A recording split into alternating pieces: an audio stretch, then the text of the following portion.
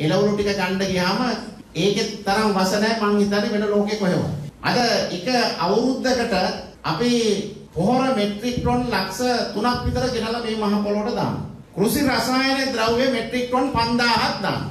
ඒකට අමාත්‍යාංශය ඇවිල්ලා අපේ අමාත්‍යාංශයට අනුමත දෙ අනුමැතිය දෙන්නේ. ඉතින් මේවා ඔක්කොම මේ ගත්තාම වස විසෙන් තොර ආහාර හදන්න කිව්වට කවුරුත් කැමති නැහැ.